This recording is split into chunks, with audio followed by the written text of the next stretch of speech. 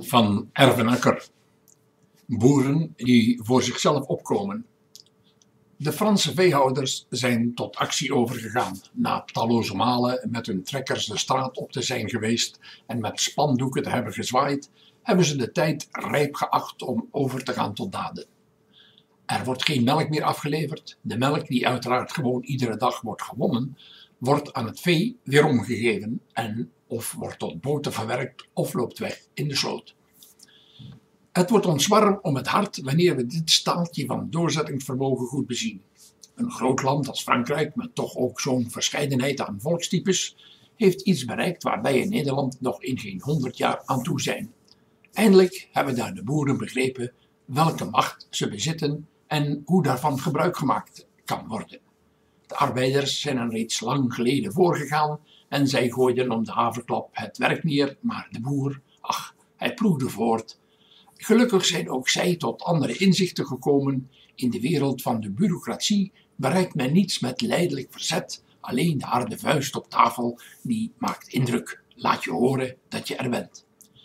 Parijs zit zonder melk. Juist daar doet zich het tekort aan melk het sterkst gevoelen. De consument zal zich realiseren wat het betekent in een land zonder melk te wonen. Ja, het land van destijds president de Gaulle is het wijnland, maar daar kun je geen pap van koken.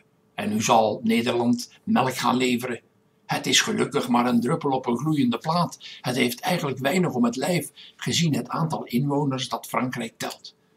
Wij zijn van mening dat er eigenlijk geen druppel melk of korreltje melkpoeder uitgevoerd zou moeten worden naar Frankrijk.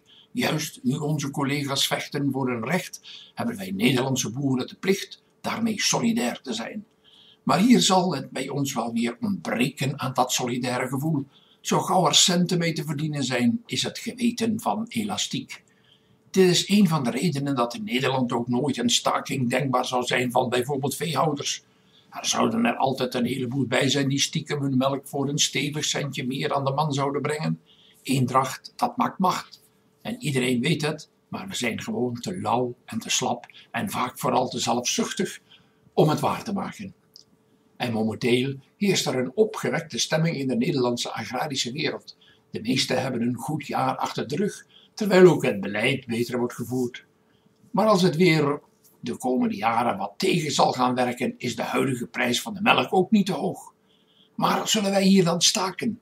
Wij lachen erom, want Jantje doet het niet omdat het niet met zijn geweten in overeenstemming te brengen is. En Pietje vertikt het omdat hij ondanks alles liever klaagt en tegelijkertijd toch nog maar wat guldentjes of eurentjes binnen wil zien komen. En zo kun je maar doorgaan.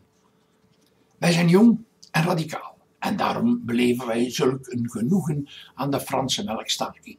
En iedere moderne boer zal er dezezelfde vreugde uitputten wij zijn ondernemers die vechten voor een recht en een staking indien dit het laatste hulpmiddel is.